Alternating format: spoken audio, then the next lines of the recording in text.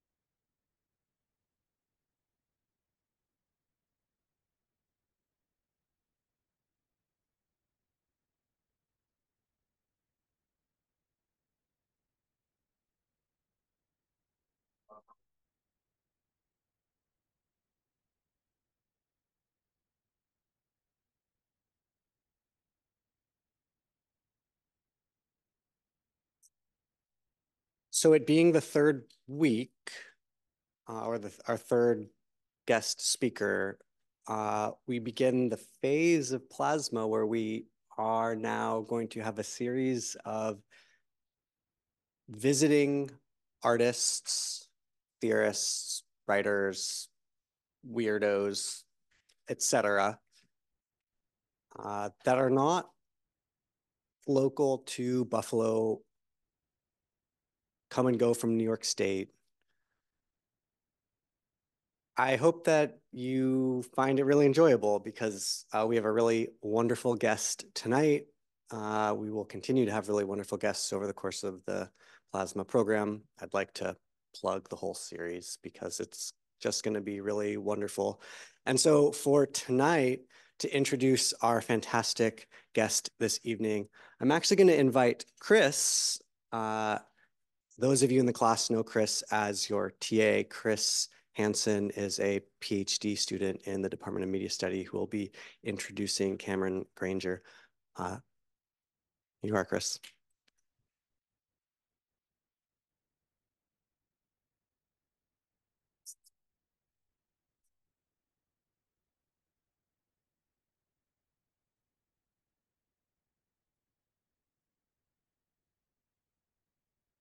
Can everyone hear me?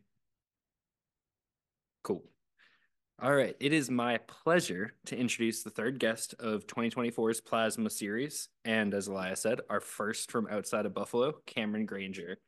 Uh, Cameron A. Granger is an artist from Cleveland, Ohio, working at the intersection of new media and installation. In a recent interview, he described his work as a site for memory making and a means to strategize new forms of remembrance in our age of mass media. Inspired by the rigorous archival and homemaking practices of his grandmother, Pearl, Granger uses his work as a means to quilt his communal and familial histories into new, not just potential, but inevitable futures. He's an alumni of Euclid uh, Public Schools, Skowhegan School of Painting and Sculpture, and the Studio Museum in Harlem AIR Program. In 2020, Cameron was selected as a Forbes 30 under 30 and is currently part of the inaugural Institute Fellowship at the Queens Museum of Art. His work has been shown in solo exhibitions at such venues as the Queens Museum of Art in New York, No Place Gallery in Columbus, and Vox Populi in Philadelphia, as well as featured in group exhibitions at MoMA PS1, the Bemis Center, and the Luminary. Please join me in welcoming Cameron Granger to the stage.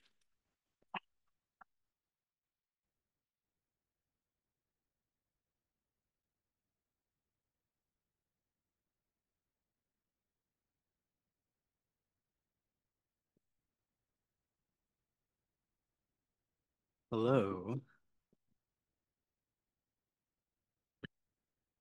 Can y'all, okay. cool. Can y'all hear me? Okay. Figured I, I can hear myself very clear. Um, one second, let me get my notes. All right, um, thank y'all for being here today. I am uh super hyped. I'm a little nervous, like so like if I go too fast at certain parts, just you know, give me like a little hand signal. Um, but uh like thank you, Elia, for having me here. Thank you, Chris, for the beautiful introduction. Um I uh yeah, Chris said, I work uh mostly in video and installation and I also do a lot of like uh text-based print type things and kind of all over the place. Um, but kind of the um, big connective tissue is that I just really love making work about uh, about my communities, with my communities, like with my homies, with my loved ones.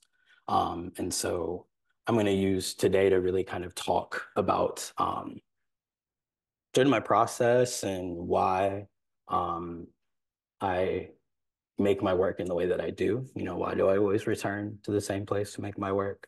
Why that's important to me, and um, kind of just like the um, I guess the reasons why I just like love to make work in this way. Um, and I'm gonna use this one piece, Heavy as Heaven, to sort of be the, I guess, uh, framework or skeleton of this talk. Um, and so it'll be like, I'll keep revisiting as we go through talking about different elements. So, um, you know, uh, I'm just gonna, I guess I'm just gonna get into it. Um, this piece is a it's a installation work. It's a hundred-ish square foot house made with a bunch of found wood from Cleveland and Columbus, the two places that I call home.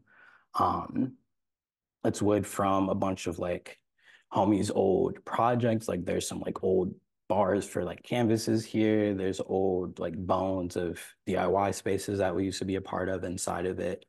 Um, there's stuff from like old housing, like from in progress housing developments that I just kind of stole in here too. Um, I wanted to be really this kind of like stitched up piece of memory that kind of like I could trace these different places that I frequented so much um, through the work itself. Um, so, and it houses this three channel uh, short film called Heavy as Heaven. Inside of it, you can kind of see on the screen here. Um, and uh, I'll show y'all more of that uh, in just a few minutes here. Um, but first, I like to like start off uh, conversations with this clip. Uh, it's from a show called Good Times. It's a sitcom from the 70s that revolves around this Black family called the Evans family that live in the south side of Chicago. Uh, this clip in particular is uh, kicks off when Michael, the youngest son, who you see here, uh, finds this painting of Black Jesus that the oldest son, JJ, painted. and he really falls in love with it and wants to replace their family's painting of white Jesus that sits in their living room with this new one. And there's kind of like a wide family discussion that ensues after that. So I'm gonna play it. It's like a minute and a half, um, and then I'll tell you why I'm showing you this uh, 40 year old clip in a second. Wouldn't we at least let Black Jesus hang alongside? Forget it. The only Jesus I know is him. And the one thing he don't need is a partner. How do we know Jesus wasn't black. He could have been from the lost tribe of Israel. They were supposed to be black. I bet they were. If ever people were lost, we're it. Watch out, both of you. This picture has been in my family for as long as I can remember. When I was a baby, I don't know what I saw first. My mama, my papa, or this Jesus. Now, he's the one I know and love. So let's close the subject. Jesus was black. The Bible would have said so. Well, it did say so. What are you talking about? I read about it. Um, it's in Revelations chapter one, verse fourteen. I read about it in Muhammad Speaks. It says, um, his hair is like wool, and his eyes are like flames of fire. Oh, Lord have mercy. You sure do say that, don't it? And see, look at that hair, like wool, ain't it? And look at her eyes, red like fire. Yeah, They sure is. Judy, how come you decided to paint this? I don't know. All of a sudden, I just had divine thoughts on my mind. And for JJ, that's a first. What, having divine thoughts? No, having a mind. I guess I ought to be grateful for JJ having Jesus on his mind in any color. Then we can hang up, Mama. Well, now, I, Please, Mama. all right. But just for Black History Week. After that, he comes down. Um, all right. So I really um I really love this clip because I I feel like it shows um really like eloquently the power that images have in our lives. Um when Florida, the mother says she didn't know who she saw first, her mom, her dad, or that Jesus. Um, I think it really shows how uh, images embed themselves into our lives and kind of like influence the way we think and see the world, even if they were counter to what might be deemed like the objective truth. Um, so there's a real uh, power in images. And as someone who makes images for a living, um, it's something I don't really take lightly. It's something that I'm always kind of aware of as I'm making my own work, right? Oh no, okay, here we go. All right, um, so on that same tip, uh, I'm gonna get into some of my own work. Um, this is a still from the uh, Heavy as Heaven video. Um, so like what it's one of the thing, images that you see inside that house there. Um, and so this is uh, a shot of my grandma's uh, mantelpiece. The whole film, it, the whole film, the whole piece uh, was great, like deeply inspired by my own relationship with my grandma's house and how that relationship has changed since she passed away in 2017. Um, and how uh, kind of just how it feels so like when I the house is still in the family, my grandma, my grand my granddad and my auntie still live there. So I go every now and then. And it feels like at once very much the same, but also like radically different, right? There's like so many of her things are still in the same exact place that she left them. There's like her last to-do list is still hung up on the fridge in the kitchen almost like 10 years after she passed away. Um, it, but it, uh, it also feels like a totally different house than the one that I grew up in. Um, and so I was really um, thinking a lot about how these like psychic connections to the places we call home shift and change and how these spaces speak memories when even like the people that we made those memories with aren't there anymore. Um, so this, uh, if you look at my grandma's, if you look at this photo, there's kind of like a, there's so many different like baby photos, graduation photos, and this is only like a quarter of all the photographs that she had of everybody. Um, my grandma was the type that had like everyone's baby photos, everyone's graduation photos, even like some of my friends growing up, she would have their pics, and like I don't even know how she got some of those. Um, and I really like, I always loved that about her, but it wasn't until um, recently that I realized kind of how, um, that I, I, until I realized the like real weight of this act of collecting that she was doing, this act of archiving. Um, my grandma was from Alabama. She was from the Jim Crow South.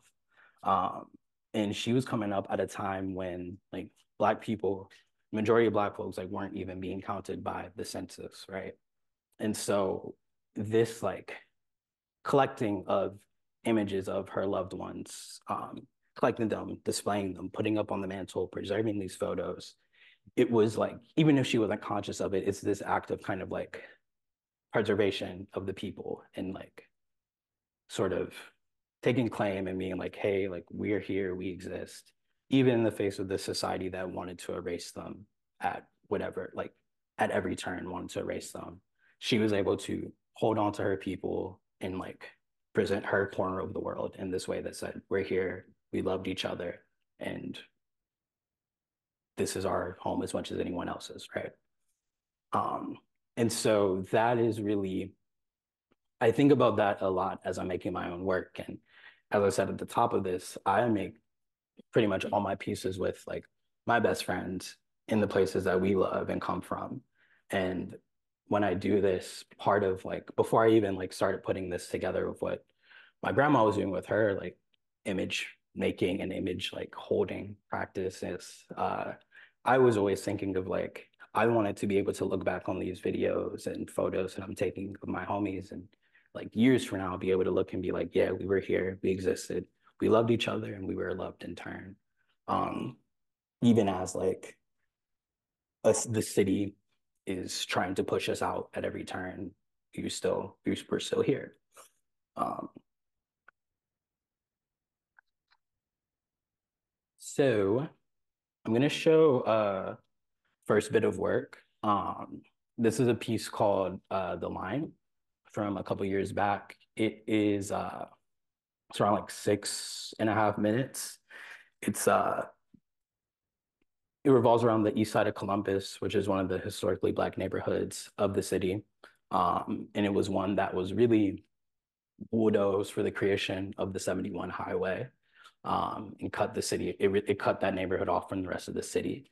Um, and uh, but a lot of the people that I love are from this neighborhood. And I wanted to make a piece that tells the history of this place while also honoring like the love that still remains there um, and the people that still call it home.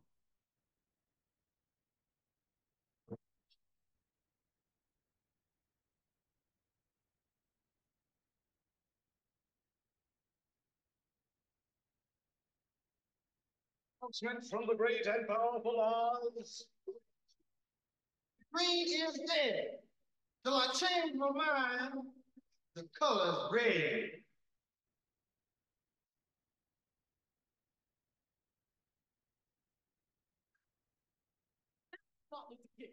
A street. And I don't give a fuck where you live in America.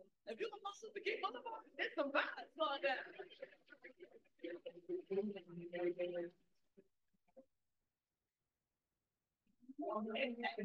This place to be. Nobody tell me lost on MLK. I'm lost. I'm on my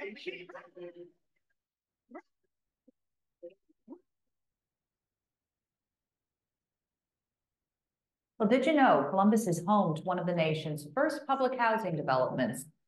Desolate, abandoned, and set for the wrecking ball. What was it like growing up in Poindexter Village? The best and every child was cherished and loved dearly. This is the unit that Aminah Robinson grew up in. Uncle Alvin told her stories about the Blackberry Patch, the neighborhood that became Poindexter Village. It got its name from the wild fruit that grew around the substandard housing that African Americans endured in the 30s in East Columbus.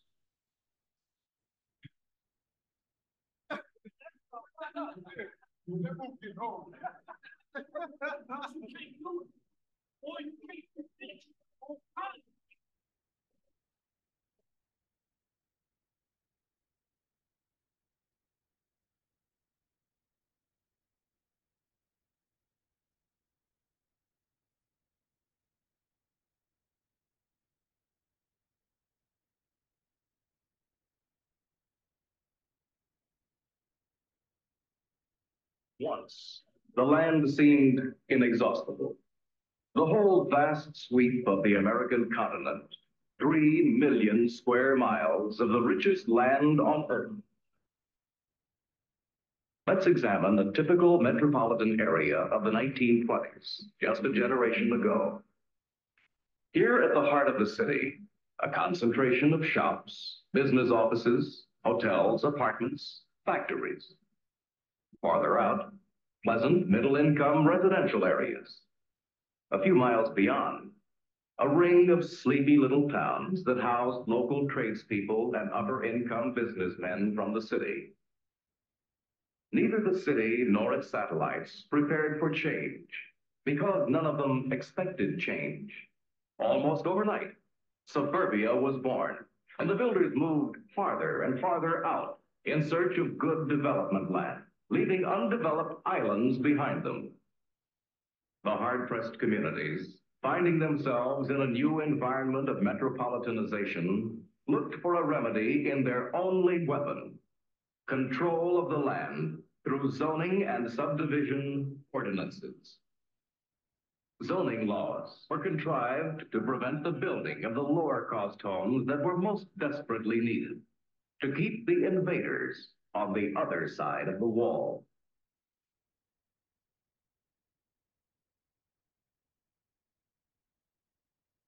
Throughout the 1800s, African American settlement dotted Columbus. Unreliable census numbers don't give us the whole picture, but what is known is that the African American population started to swell during the South's turbulent Reconstruction years after the Civil War the African American migration from the South to the North really represents one of the greatest internal mass migrations in world history.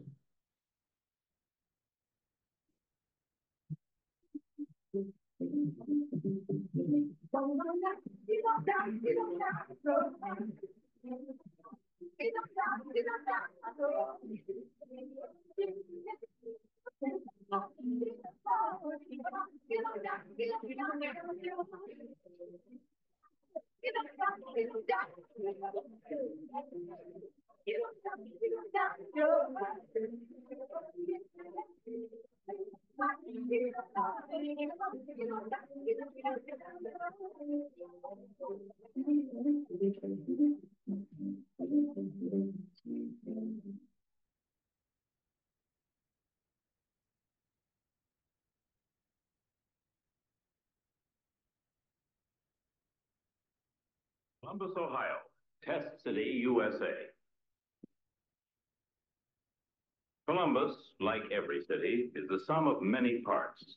Directly south and east of the expanding business district, family incomes run low, much lower than the citywide average of $7,300. But in Bexley and Upper Arlington, the most prosperous Columbus suburbs, family incomes averaged more than $16,000. When the urban renewal piece came through, they leveled this entire neighborhood and there was nothing, nothing. Now, the fact is, is that the community still here. You name me a community in Columbus that could have half of its business district demolished, lay dormant for 10 years, and they will still call it anything. I wanted to know every person who lived in that community who made up this community. Their lives are very important because it made a difference in my life. You can't stop progress. So I look at it um, hopefully. I'm always hopeful that something better will come for the future of our community.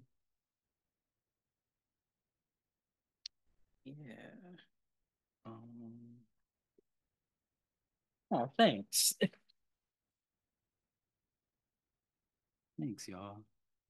Um, is that right? Okay. Um, yeah, so that's the line.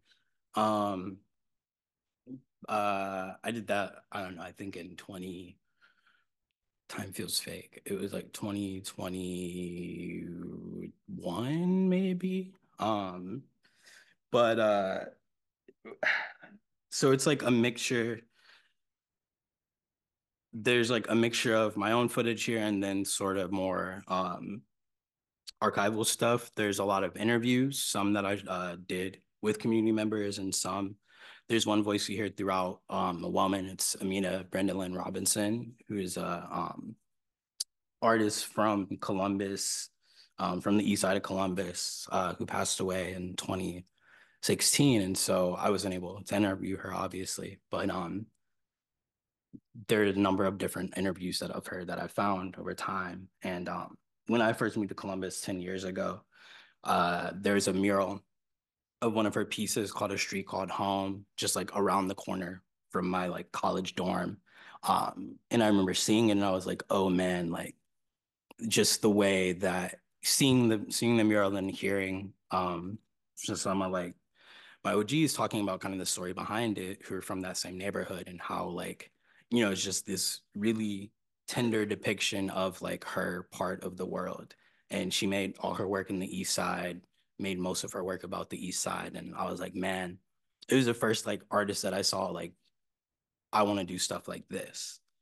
And um, I knew if I was doing this piece about the neighborhood, I had to bring her voice into it somehow. So that was a decision to bring that in. But um, I I start a lot of my work with a question, and uh, every like piece starts with a question. And for this one, there is a few like one of the things I was thinking of was like, okay, me and the homies would always talk about this. Like, why does it always feel like it's five degrees hotter in the hood versus like everywhere else in the city? And then you start to do a little digging. And it's like, oh, well, because there's less tree coverage there. Why is there less tree coverage here? Because of the city planning. And why is the city planned this way? Da da da da. And you can you can kind of go down the line and see how all these sort of like um segregated decisions were all part of a design, right? Um, and I'm really interested in use. I'm I'm trying. I want to use my work partially to expose these kind of like uh, power structures that are often very hidden around us. The these structures that shape our world are often like kind of unseen. It's hard to see them until you like know what to look for. Um, so I'm really interested in that. But then also, like I said, um, when I was talking about my grandmother's mantle, I'm also I really also just want to um, preserve like these spaces that are so like rapidly changing around like that mural. Then the the Aminah mural that opens the film, like there's the shot of um three of my friends riding through my my old minivan. That we shot that in like 20, probably like 2019. Uh, so it was part of an older project, and I brought it back for this one. But that mural uh, got demolished in 2020. So it's like, and there's so many other places in this video that also just aren't there anymore. And I kind of go back through my work over the past 10 years and see like all these places like really rapidly um, disappearing.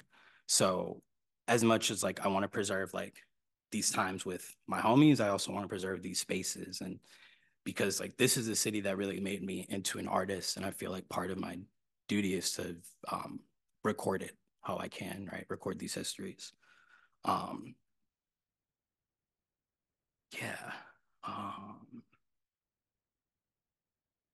oh, geez. Okay. Okay. Um, so going back to Heavy as Heaven, um, I want to show y'all a couple more images of the installation, and then I'm going to play a clip from the film. Um, so this is a view inside the uh inside the installation, inside the house. Um, you can kind of see some of the like how cruddy some of these boards are. Some of these have just been like sitting in like homies' basements for like years and years. Um, there's like just a lot of built up accumulation of like paint and other unsavory things. Like when we were starting to uh, build it, me and my homie James, who runs No Place Gallery, where this was shown um, in 2022, uh, we loaded it up in his truck bed and took it to the car wash and just like wiped them all down with like the little foam brush just because they were all like really dusty and crusty. Um, but I wanted to keep that dirt, like some of that on there still too, so you could see like kind of just the layers and layers of like history packed into this material. I was really, really wanted you to be able to look at all these different pieces and um, see that they lived a life before they came into this installation, right? Um, so you walk in and the film is playing on these three different monitors. Everyone's playing something different, but you know, it's all synced. Um, and then there's uh, two speakers and then a large subwoofer sitting in this little um, attic up here. And um, the sound was something that I was really, uh, really adamant about, like really getting right. I wanted to, wanted it to feel like you were being like swallowed up by like a monster or a body, like a body of water or a monster or something like just so much larger than you. Because that's kind of like for me what it feels like when I go into my grandma's house and when she's not there anymore, like it feels like I'm being like kind of swallowed by this memory of her um and that loss. And um in in in a lot of ways when I like walk through Columbus or drive through it on these visits I do back because I, I live in New York currently. Um, uh, I moved away in 2022, yeah, into 2022 for a fellowship. Um, and so every time I go back, something's changed, something vanished. Um, and it feels like I'm getting like kind of like lost in these ghosts when I go back.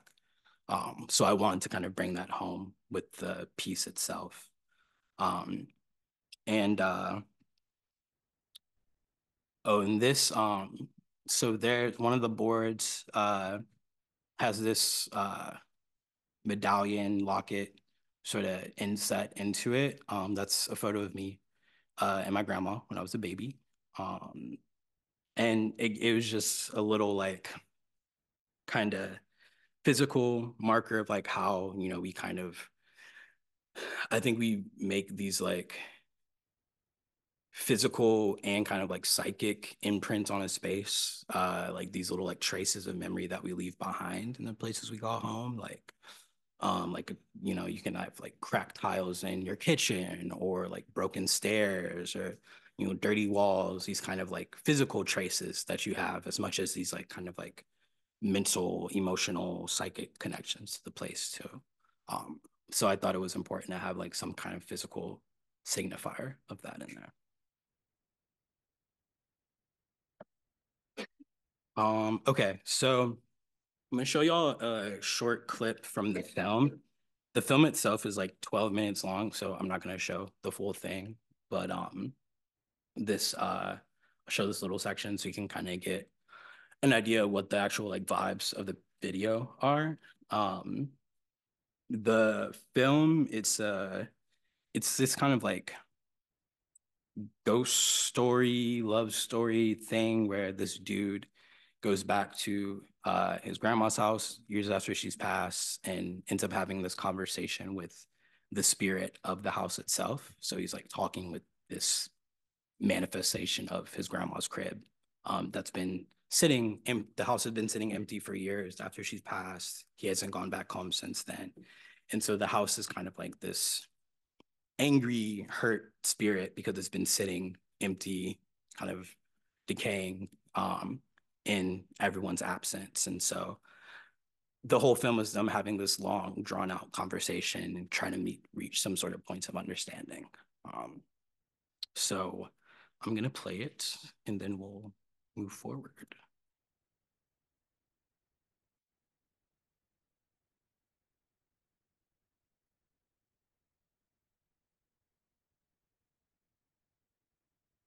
Uh-oh. Oh, here we go.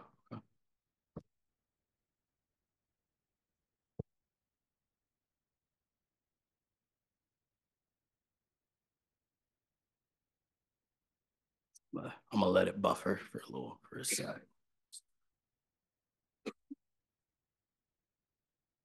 Is my pace okay? Am I going too fast? I feel feel- feels good. Okay. Thanks, y'all. Thanks. Appreciate.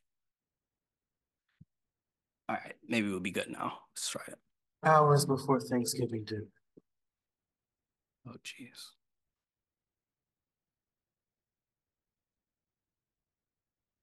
Oh, there we go. Okay. She's been working.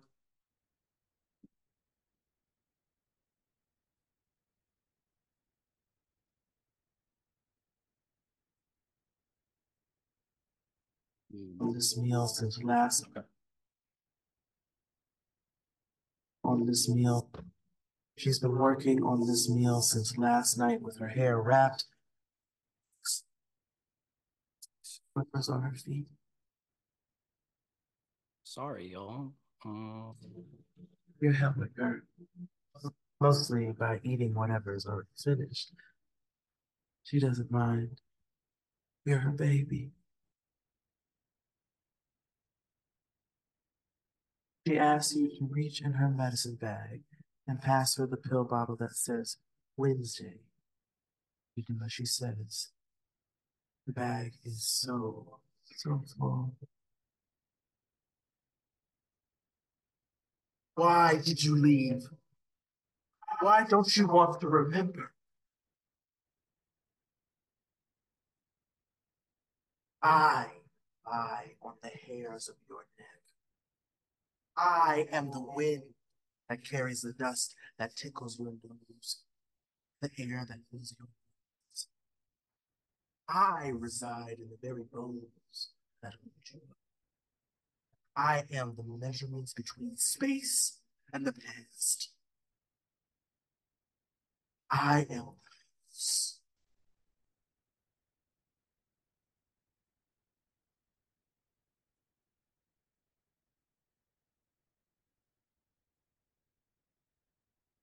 oh.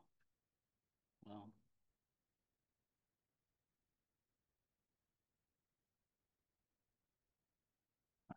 I'm just gonna move forward and then maybe I can just, maybe we can just like send the link out at some point. Um. Let's see. Sorry, y'all. Um. Okay. So, uh. Moving forward, um, oh, this is, uh, I didn't realize I included this, but this is good to show. Um, this is uh, a view from uh, the second kind of iteration of this piece. Um, so I showed this work again uh, in a group show at MoMA PS1 uh, in 2023. Uh, and for this iteration of it, um, because it, so like I said, that first Heaviest Heaven was first shown in Columbus, Ohio at No Place Gallery. And No Place is a um it's a gallery that's run by my good friend James Stretney. Um, and it used to be a spot before it moved to its new location in downtown where it's at currently. It was a long running sort of like DIY warehouse space. And it was right around the corner from a space called Mint that I was a part of for many years. Um, another like DIY spot. So no place in Mint, me and James and the rest of us, we all really like came up together as artists. And so when this show came around, um, when heaviest when the the heaviest heaven show came around, I really wanted uh to sort of honor that history that we had. And I'll show you all late in a bit. Um, I really want to honor that history and like really activate the space with a bunch of different uh, programs. Like we threw parties inside of it. We did free workshops, a bunch of different stuff. Um, and I really I wanted it to be this gathering space, sort of in line with how our spaces used to be um, back before they all got shut down uh, years ago. Um, and so, uh, but with when the show, when the piece came to PS1, it wasn't really possible to do that in that space. It wasn't possible to gather in that space in the same way. Um, one of the big reasons being it's just not in the same place that it was before. So to sort of like to still be able to share that work, but also kind of create like a boundary for it and honor that sort of like sacred for me like the memories made inside that sculpture inside that space through all the programming we did through all the the history of the material itself before they even became part of the art object those histories are very sacred to me.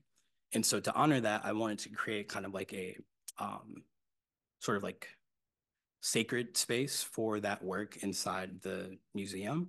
So um, with the help of the really incredible install team at MoMA PS1, we built this um, false wall inside the gallery to sort of like cut it off from the rest of the room. Um, so you could still view the structure in here in this sort of deconstructed state, but you couldn't engage, you couldn't enter and engage with it in the same way that we did back in Columbus because it's not, it's not at home anymore. Um, so I was really thinking about how like memories could be you know, how memories are portable, how these things can move and be transplanted and all that stuff, but still create like a, I wanted you to have to view it on my own terms, right? Create some sort of like protection for the memory. Okay, so um, this like last kind of like half of the talk, I'm gonna go in and talk about my um a lot of my more collaborative projects and community projects. Um, the like real kind of fun stuff. Um, and so to kind of like ground us in that next section, um, I wanted to share this excerpt from uh, a essay that I really love, um, Home Place by Bell Hooks.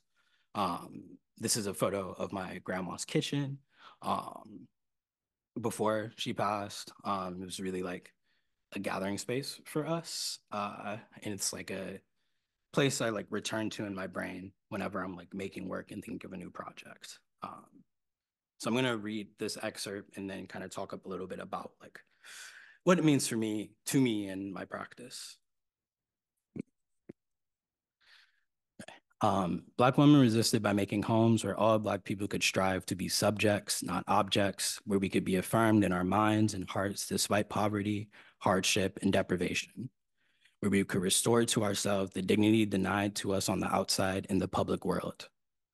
This task of making home place was not simply a matter of Black women providing service. It was about the construction of a safe space where Black people could affirm one another and by so doing, heal many of the wounds inflicted by racist domination. We cannot learn to love or respect ourselves in the culture of white supremacy on the outside. It was there on the inside, that home place, most often created and kept by Black women, that we had the opportunity to grow and develop to nurture our spirits.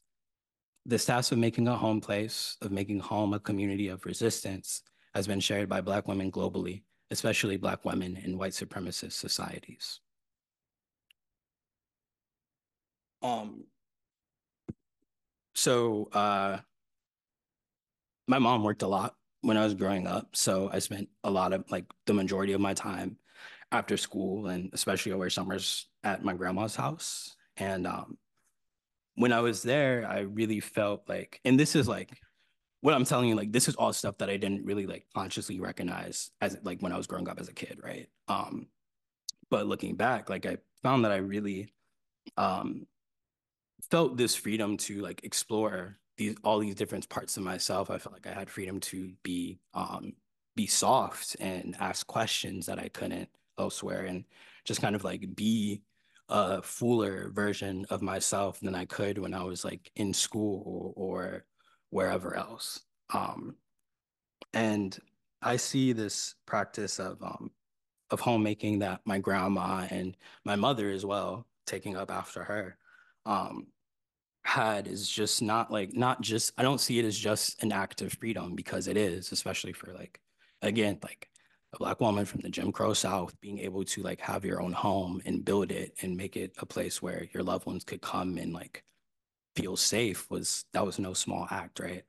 Um, but I also see it as like a really like deeply creative act as well. Um, building a home, like it's it's curation, right? It's design. It's a lot of there's a lot of intention that goes into it.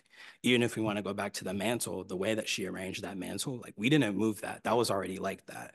It was there was uh real like care and attention that went into this, right? Um, and so when I when I'm making my work, when I'm making my work and thinking about how I want to live my life as an artist, these are kind of like this this this um lineage of home building, this lineage of home places, archival work, this affirming work, creating um places to gather. Like these are the kind of lineages that I'm creative lineages that I'm really um that I feel tethered to. This is my sort of like this is my like kind of like art historical canon for me when I'm thinking of like who I creatively align with, right? Um, more so than any other kind of like filmmakers, photographers, whatever. Like this is really where I feel like I come from as an artist. And uh those like and so with that, uh, I want to talk about these next few projects, um, or these last few projects. Um, there's uh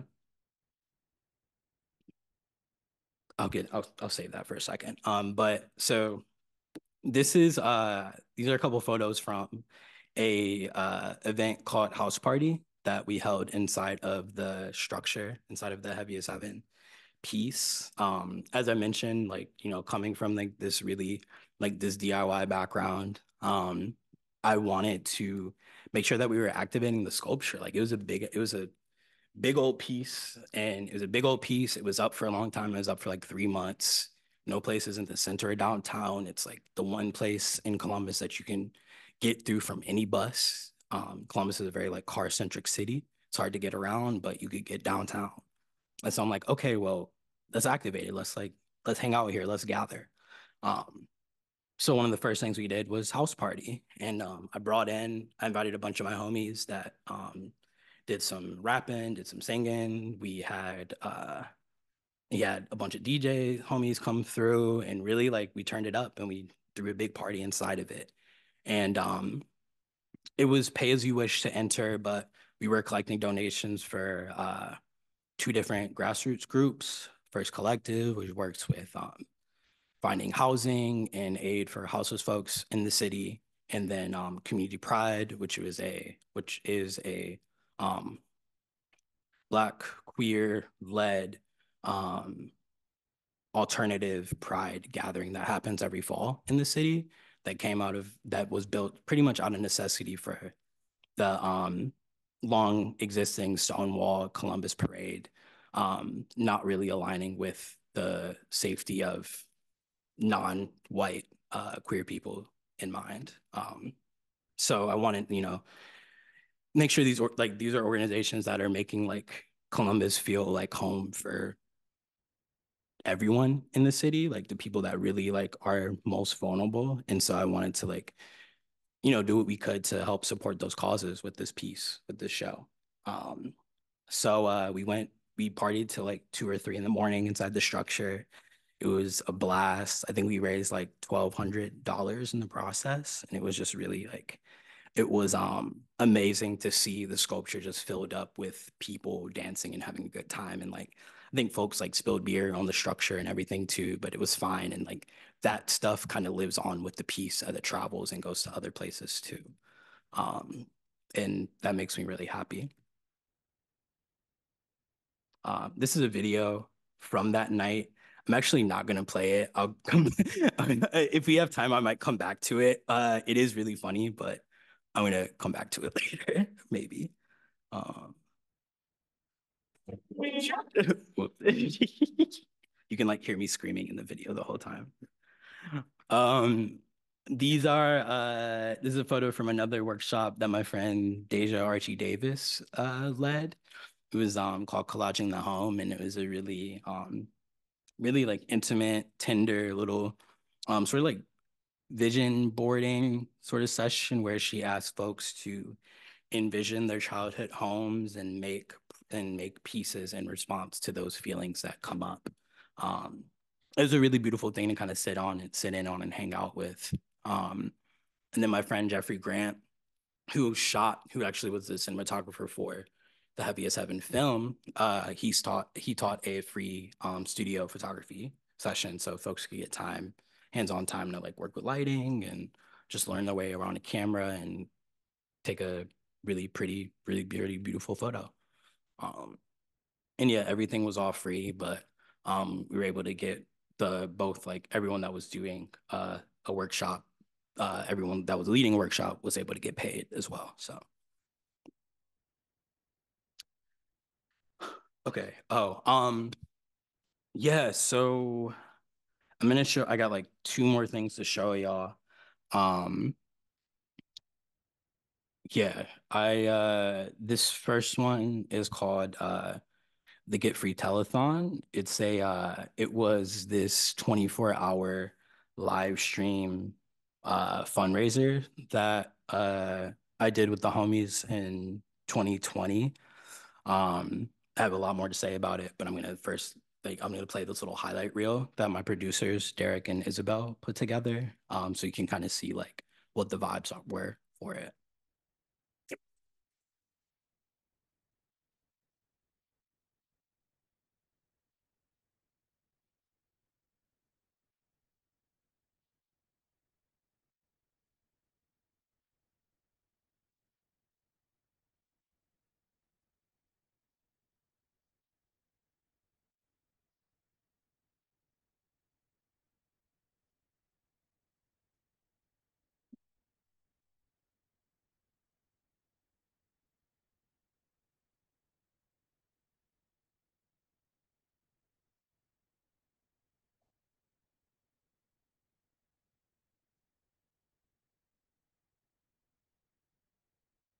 I don't know why it does that. Okay. Um, so this is kind of the uh I love showing this part because like you can this is the schedule for the weekend. We went from like 12 was it like oh 2 p.m. on Saturday to 2 p.m. on Sunday straight through. Um we had about like 30 different programs in total and like there's some short films poetry readings. My homie Frank did a cooking show. We had a talk show. It was um, basically like we did our own TV network for um, a for a weekend. Um, and it was like it's to this day one of my favorite projects I ever did. Um, and so, like I said, this was summer 2020, um, right in kind of like the heat of the uprisings, and um, this was a time when I felt really um I was in a really like I mean like you know like most of us were I was in really like low place and really feeling kind of like really pessimistic about art and kind of like feeling like there wasn't really like uh oops, sorry. Um feeling like there wasn't really like anything I could do as an artist and like I was seeing all these like ask a curator and da da da da like these types of talks popping up and it just felt so like pointless like and like people are dying like this feels so like small and insular. And um and you know like I don't necessarily feel that way now but well you know I yeah actually um I I had I was feeling a lot and just feeling very like stuck. And so I was talk I like talked with a lot of like my OGs and mentors and trying to just figure out like what can I do, what can I do? And um I knew like I kind of came to the real like conclusion that okay, like to do the work, to do the work, these groups need like groups need money. Like organizers need money to do the work, right? That's kind of like what we're in. And so I didn't believe that like me as an artist or me like like I could I there wasn't a piece one piece I could make that was going to like solve what we were up against right? But like I felt like I had a platform and I had access to capital. I was in a residency at uh, Red Bull Arts um at the time and it was an online residency uh, because everything was remote at that point um but I knew through that residency I had some type of access and so I was like just doing some like research, trying to think about what I could do. And I don't know. I think I was like I saw like a like some I don't know some like telethon on YouTube or something. Um, and I was like, okay, well maybe like there's something here. Maybe we could like get folks some bread. Um, and uh, I kind of put the idea into like my contact at Red Bull's I like ear, and she was really about it. And so from there, I kind of like contacted 30 of my homies um, and asked them like, yo, do you want to do this telethon thing with me? We can get you paid. Uh, get you paid. It can be something you already made, or you can make something new, da da da da.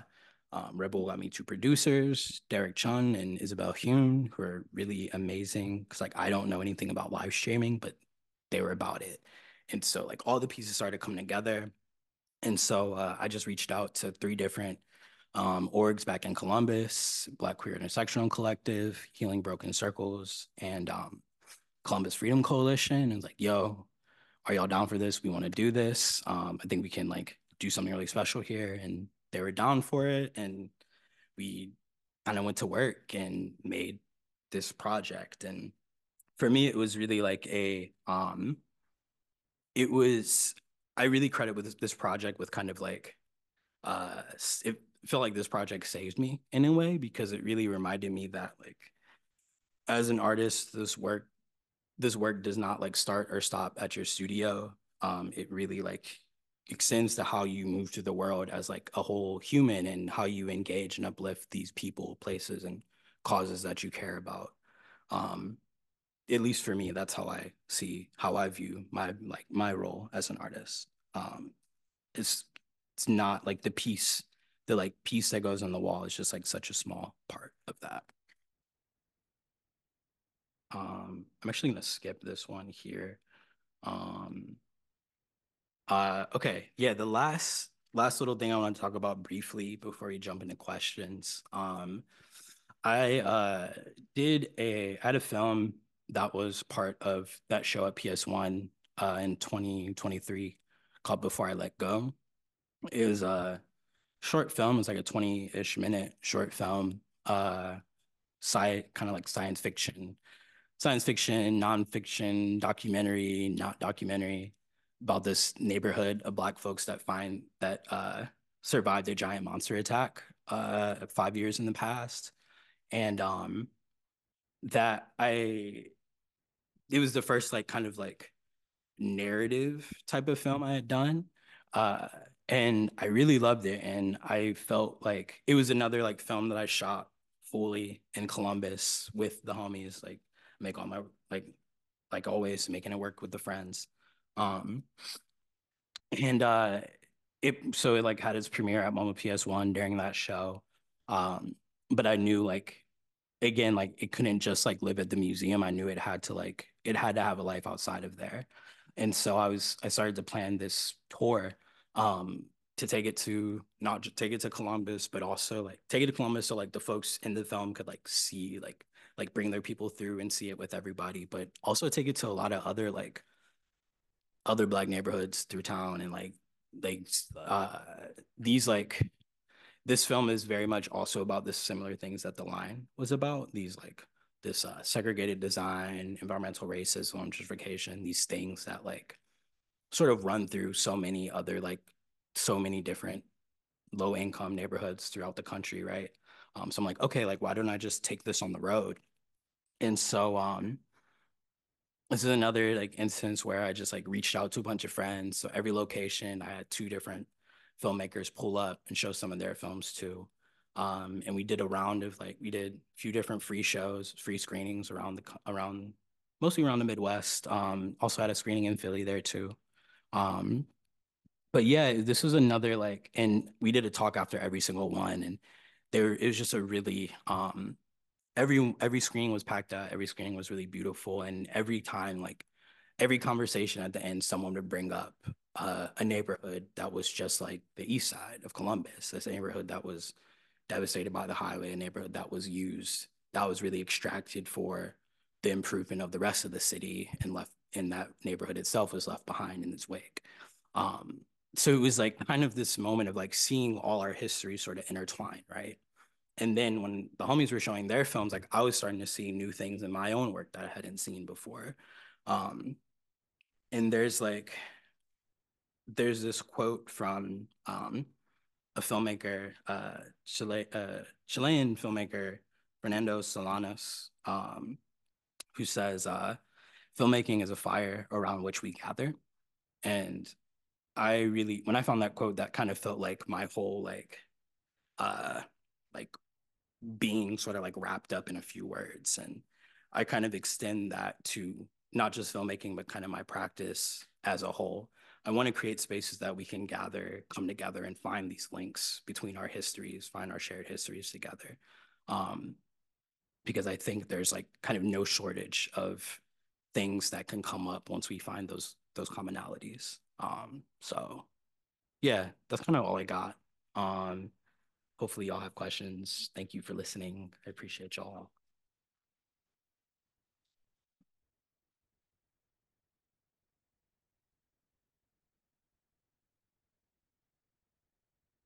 All right, thanks, Cameron. That was, uh, I felt the intimacy of all of that. So thank you very much. Thank you. I hope that all of you did as well. Uh, a quick note, uh, an apology to the folks who are experiencing this via Zoom. We won't be able to answer questions that you ask. Uh, so you will just have to listen. Though if you ask questions on chat, we can get them to Cameron eventually. Uh, so that's the end of that note. Questions from all of you people in real life, and you'll have to use the microphone. Uh,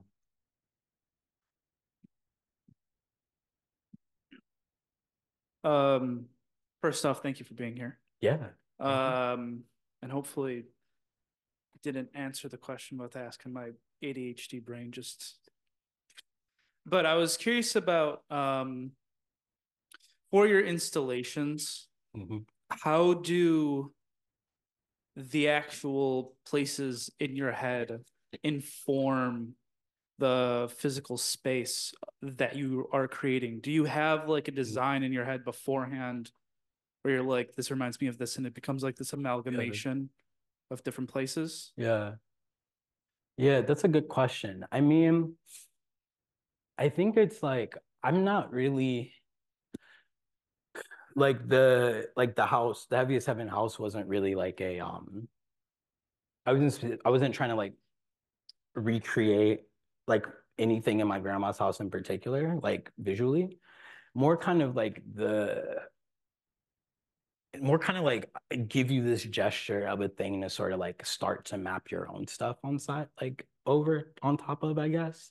And then like I just sort of fill in these little bits with my own, like whatever else I want to bring into the table. So like I think it's more like decisions like getting the wood from getting the wood from these specific places, Cleveland and Columbus, like making sure that it's coming from like these places that I have some sort of connection to, being really intentional where I'm getting that stuff from, doing little like little moves like putting the locket inside of the uh, board, stuff like that. That's kind of like where I'm like where the like spe- specificities start to come in. But I'm kind of like, you know, I was thinking of that just like okay, when you move into a like a new place, it's kind of like it's just like yeah, it's just, these like four walls or whatever, and then you start to pack in everything else on top of that. So um, yeah, I kind of think of it like that. You know, um, how can I like put these like re I guess reenact these sort of like psychic connections that I had to these spaces through like material that might not have anything to do with it on first glance. I don't know if that makes sense. That makes sense. Yeah, yeah. Thank you for the question.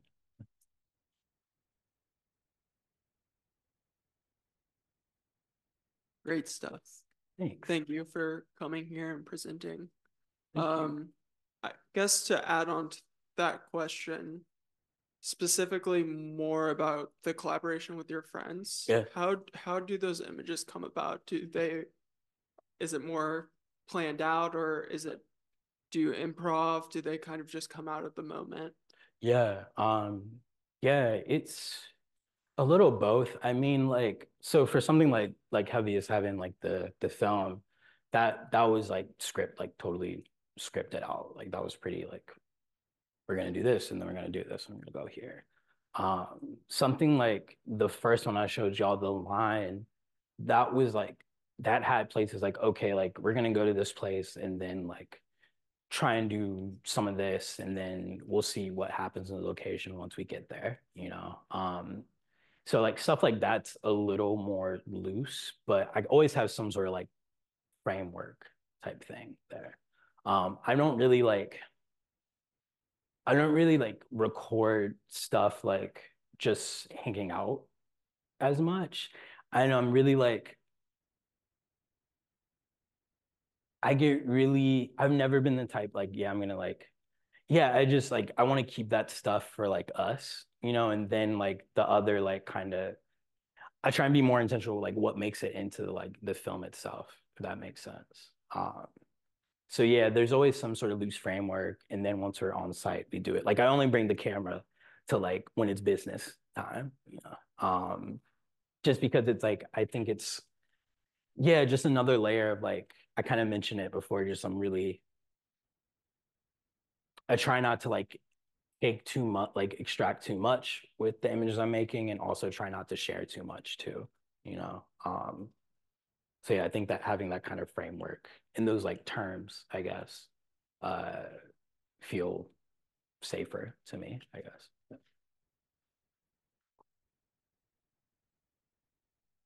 Uh, yeah. Um, and uh, also like uh, asking again about that point of um, like intention. Is, Mhm. is it uh with your art? Do you like aim to recreate the memories, or is it like a new thing that just shares the vibe?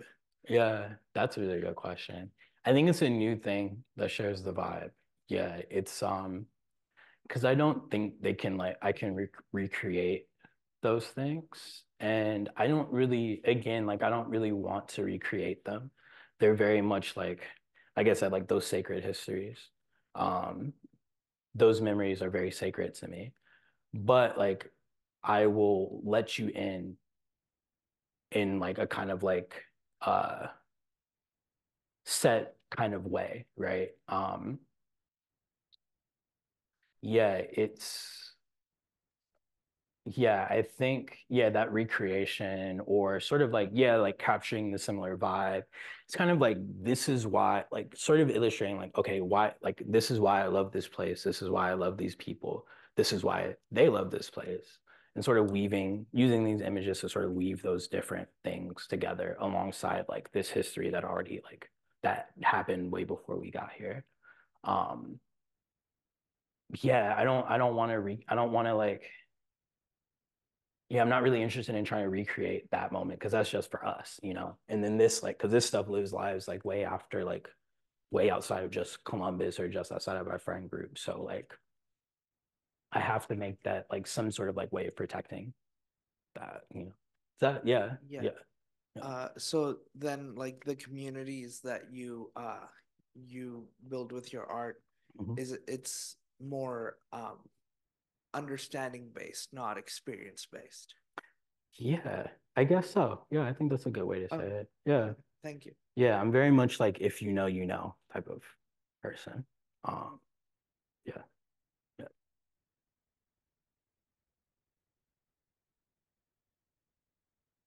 Um, I found what you said about like the memory and your ghosts like living on after someone passes really moving. Thank you. And I was just wondering, like, that installation of like the house, do you find yourself like wanting to take it with you wherever you go, or do you want it to have like a permanent place um in Columbus? Yeah. Oh, that's a that's a great question. Um, I think I carry a version even like without having the like actual like physical pieces of that thing. I carry a version of it with me like everywhere, right? Just like the memory of, the house always sits with me. Um, I have like I'm working on uh I'm working a new working on a new body of work right now, and I've actually used some of that wood that was from that was in the house piece for this new work. So like I'm very like even like also just like on a like thinking like economically, environmentally, like I don't like to buy like a ton of new material, so I like always end up reusing something. But I think there's like uh for me something really beautiful about having that like wood from Jesus Heaven be like kind of like a thing I return to for like every sort of project. And I use my video in the same way. Like I said, that clip that opened up the line and several other like shots and clips in that too. Like I've been using for like the past like five years in a project. I would use my own work as an archive as much as I use like other archival sources. So it's always finding its way back in.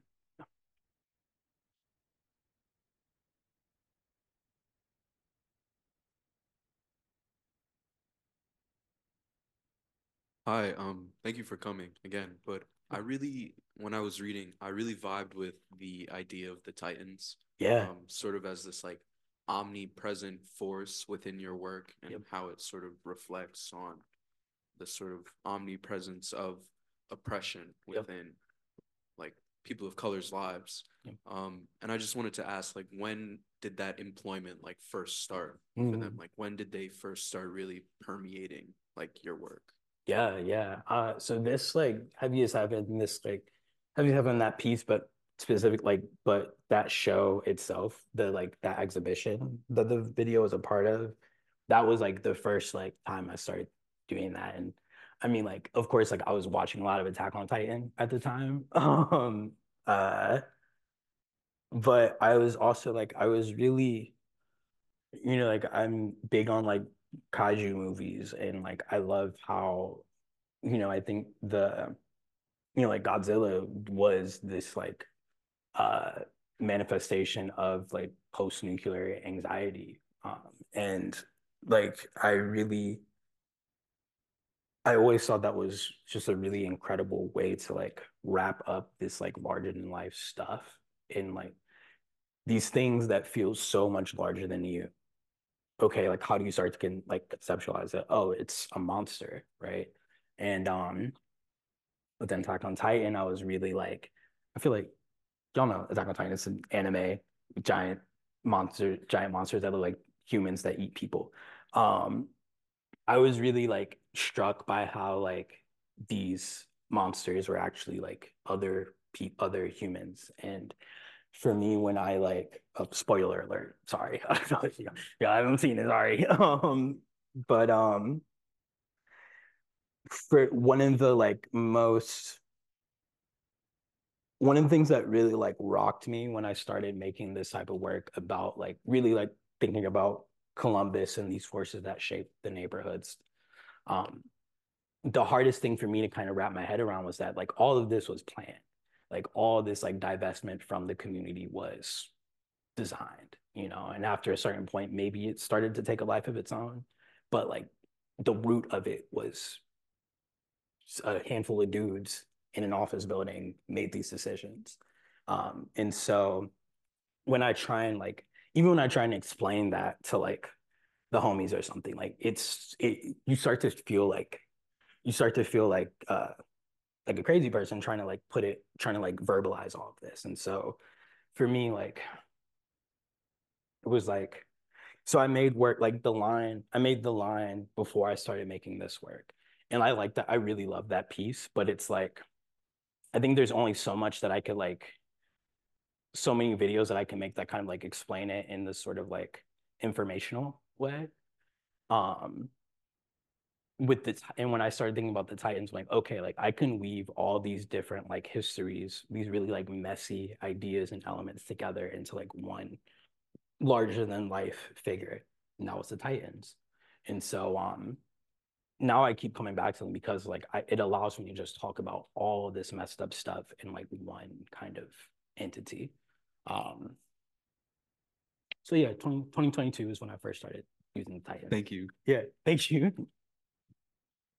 Yeah. Um, you kind of talked about how in that house you wanted the sound to swallow like the viewer, right? Yeah. And it got me thinking about how when I would see my grandmother, I would be kind of swallowed in her world Mm-hmm. through the music she would play. Mm. And it was just very different from the music I listened to. And I was wondering if you kind of um, were inspired by any of the music your grandmother would listen to. Yeah, yeah, totally. I mean, like, I I mean, some of my earliest memories is like sitting in the back seat and hearing like soul records playing from her car. Um, just riding around, going to like Subway or something. She loves Subway and like just vibing to the music. And um you didn't I didn't play that part of the film, but there's a section in the film where um there's this really distorted, crusty version of um Smokey Robinson's uh Ooh Baby Baby playing on loop. Um, and so I use a lot of like soul records, soul samples in my projects, and that's definitely like no like small influence from her bringing into it. Um, and like I'm really I use a lot of familiar records in my music.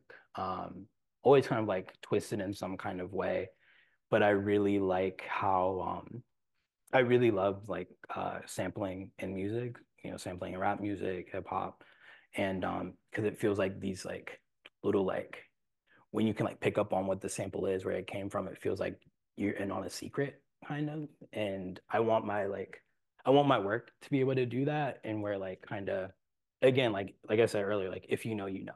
I'm thing. I'm like making work for a very specific like I'm making work for like really first and foremost my little corner of the world and like there's other like symbols, signals that I put in, like the song or something, or like song or like the Titans, or like these things that kind of like are little other ways for me to let other people in. So like it's as much as me trying to like um give a nod to like where I come from, but also like trying to let other people, little ways to let other people in to the memory too. Yeah. That's really cool, man. Thank you. Thank you.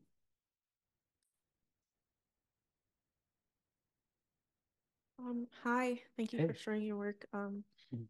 I was really um interested in like I'm not sure if this is like intentional or not, but I'm pretty sure it is. Mm. Um, about like the entire like uh subject of like the Titans and then um the voice of the house and stuff like that.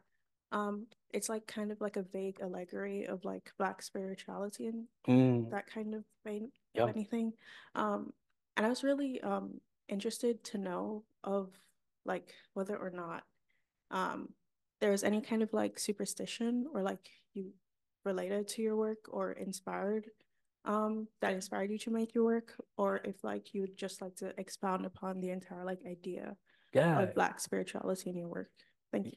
Yeah, yeah, yeah, yeah. No, thank you for that question. Um, yeah, I mean, like, I don't know when I started bringing in that kind of like spiritual element into my practice. It's kind of like, I think it's always been sort of like an underlying thing. And like my grandma is a, my grandma was like a heavy, like heavy in the church, very devout Christian, always had her church hat, you know, very like about it. Um, I didn't go, I didn't really grow up and I didn't really go to the church as much, you know, only when she kind of like brought me with her. Um, but I really, I don't know, like, I mean, I very much believe in um the spirit and that there's something that lingers after um we leave this kind of plane. And um growing up, you know, my grandma would talk about dreams of uh, loved ones that have passed and how they visited her. And after like she passed and other like loved ones, like I have these like these visitations as well. And um I think there's just like a very I know I'm really big on how much these like places hold us. And I think there's like certain sites in Black households in particular that are very much like that are more sacred than others. And um, I think that's what I'm really drawn to. Like there's the kit the kitchen table imagery. Like we hold on in that film, we hold on that that table for like almost a full minute, just like watching the candle flicker and go. And it's like kind of just channeling something for me, like channeling the spirit of my grandma in there. Um, so like I think about that that, and then there's in in um the new the current like work that I'm working on.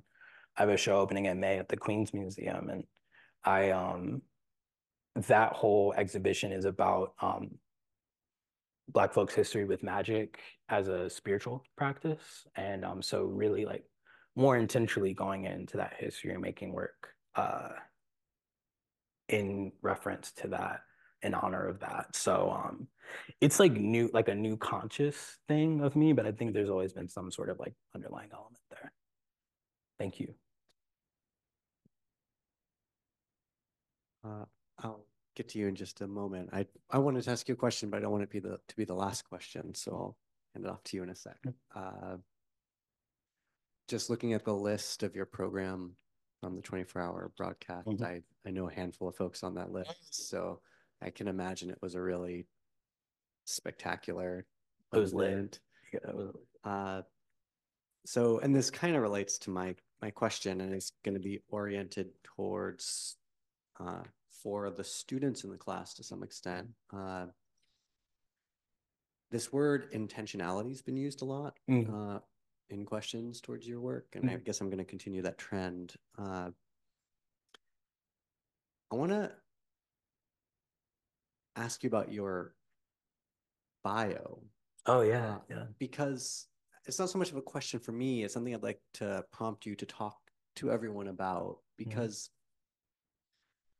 there's this different form of intentionality about your work that uh, you do so effortlessly that I don't know that everyone here really understands, which is that uh, you are you are relentlessly speaking to the people you want to be speaking to. Mm. and you do it very subtly and uh, continuously and it's very evident in your artist statement right? And, and i'm directing this to the students because i want to draw your attention to the fact that uh, i mean this in the best possible way. This is not how you're taught how to write an artist statement. Yeah. uh, if for those of you who decide to pursue a career as an artist, as a musician, as someone whose craft is what makes your income, there are a lot of disciplining practices for what that means. And uh, that's kind of ironic, right? Because on the one hand, you are taught to uh, distinguish yourself and whatever your craft is. On the other hand, you are taught to do it within the conveyance of a process of professionalization. And so one of the things you learn about how to do is how to write an artist statement, for instance. And you, depending on what you do, you will do this differently. Uh, whether you go on to get, say, an MFA or an MA in design, or you study music, or you become an experimental filmmaker, you design games, whatever it might be, someone's going to try to tell you how to write an artist statement. And it is a way that you very directly use to articulate your posture, hmm. maybe, uh, to really bring explicit attention to how you want to, to present yourself mm-hmm. as an artist. I mean, for everyone does this, but you do this in a very particular way. Hmm. And I would love to, I would love for you to talk to them Yeah. about that because I think it's uh, really all qualities of your presentation lead to the effortlessness of something that is far less effortless than you make it seem. Yeah, yeah. No, thank you for that. I really appreciate that. Um, yeah, I mean,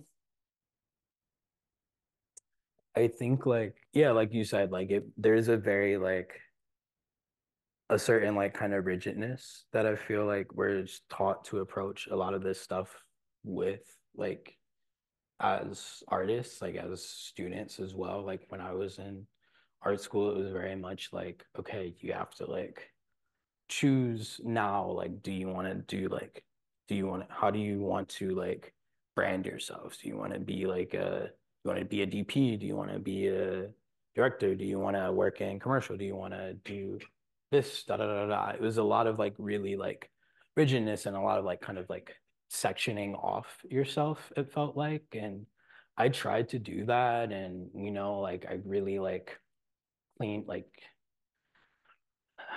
made my little like I had my little logo and like made really like, you know, branded up my like CVs and cover letters and all my all my things. I cross I did all the things that I was like told that I had to do.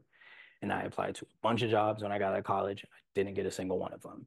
And um I really didn't know what to do with myself. And I was a part of this um, collective of artists at the time on the South Side. I mentioned them earlier, Mint, right next door to No Place Gallery, where um, the show, the first home of the where the Heaviest Heaven show was.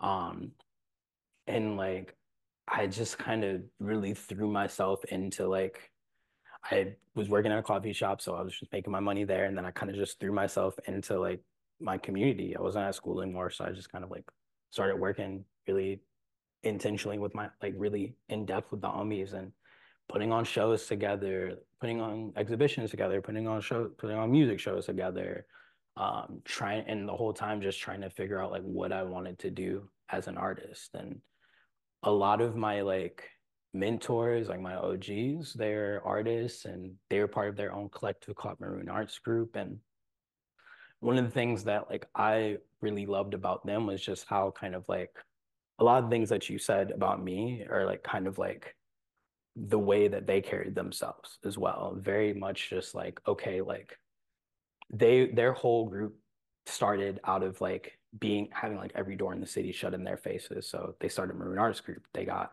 they pulled their money together, got a little spot on the east side and started doing their own projects and exhibitions out of it.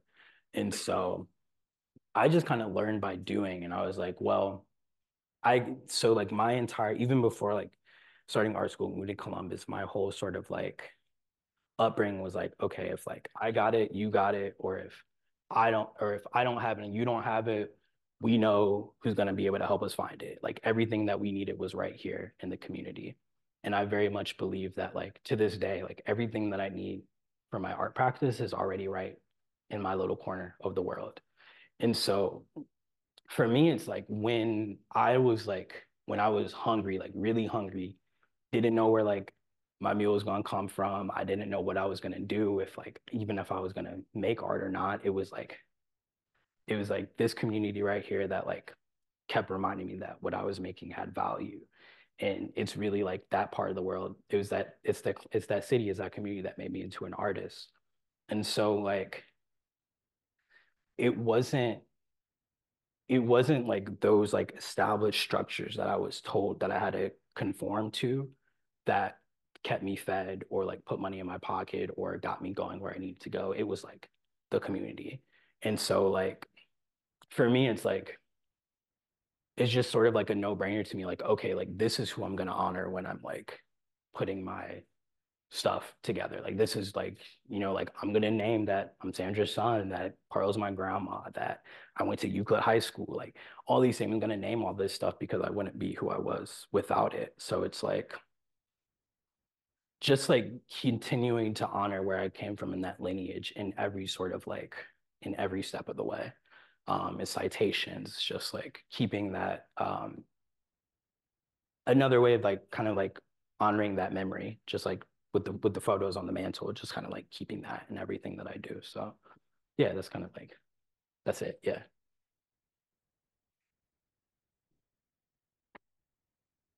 Um, in your article for Studio Museum in Harlem Magazine, you're Mm-hmm. quoted saying, Sometimes I worry if I'm giving too much, sharing too much of this memory, and that you trust your family to be the compass for these things. Mhm. And since memory is in many ways uh, an individual and non objective experience, I was wondering if you could speak a little on how you put uh, faith and trust in others for how you handle memory, and if you've ever found a disconnect between you and your loved ones' recollection of memories. Mm. Yeah, ooh, that's a good one. Um, well, yeah, I don't know. I mean, I think like, yeah, memory is individual, but like, yeah, memory is individual, but like so much of my memory is informed by like the people that I make those memories with. So it's kind of like, it's, there was a, Mickalene Thomas had an exhibition in Columbus years ago called I Can't See You Without Me. And like that title is always like stuck with me for years because that's kind of like how I feel like as a human. Like so much of myself is because like I've been seen by someone else. Um, and so like with these like with this work, it's like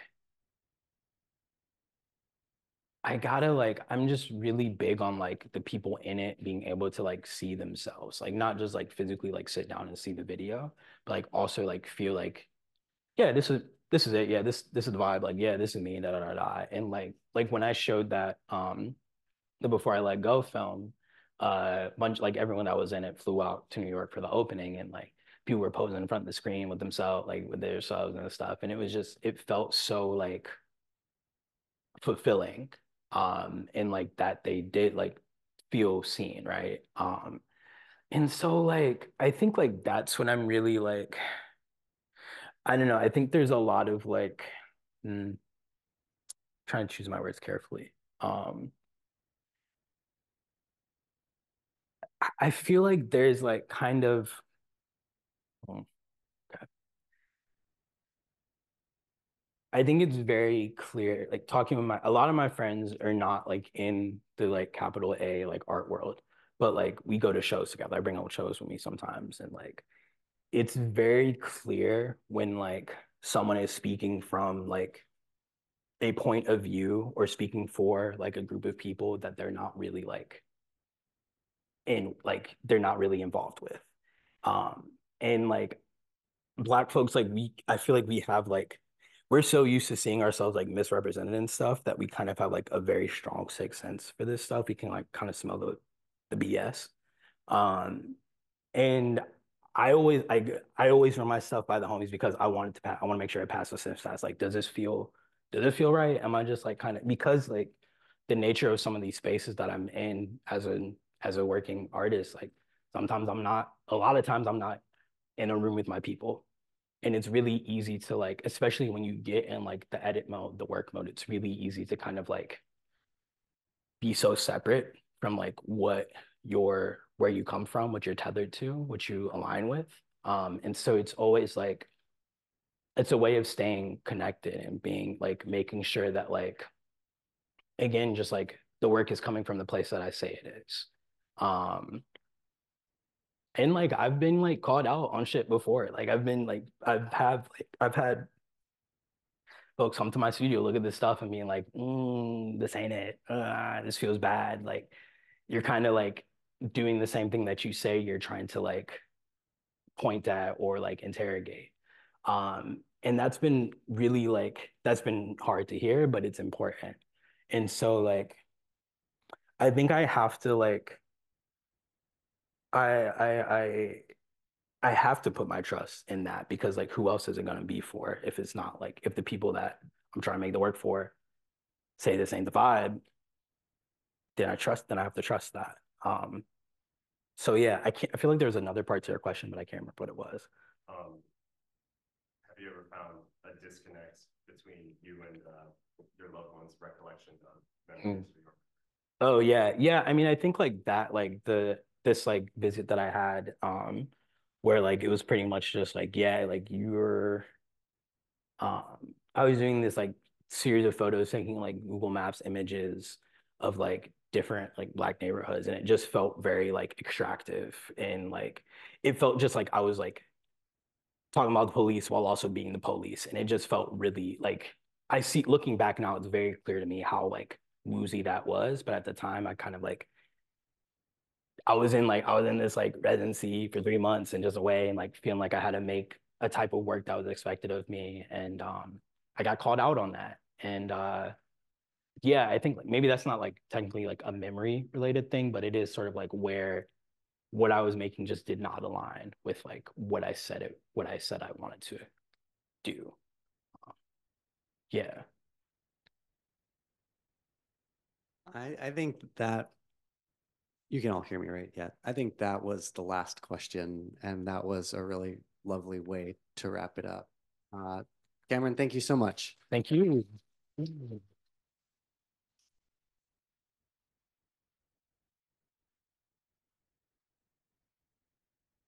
and for everyone in the class uh, to sign out uh, write the word the name bell hooks in your sign out.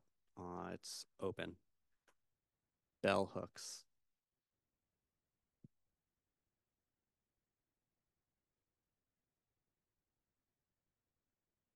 if you don't know how to spell her name look her up.